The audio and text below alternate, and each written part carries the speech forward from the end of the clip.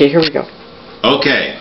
Hey, Ryder, I got you this T-shirt, Tony Hawk skateboard T-shirt, uh, for your birthday. I'm a little bit late, but anyways, I was thinking before I sent it to you, I might try it on. Oh, it's nice and soft. Let's see if it fits over my head. Oh! I don't think it's gonna fit. Oh. So I'm just gonna mail it to you, so you should get in a couple days. Happy birthday, Ryder.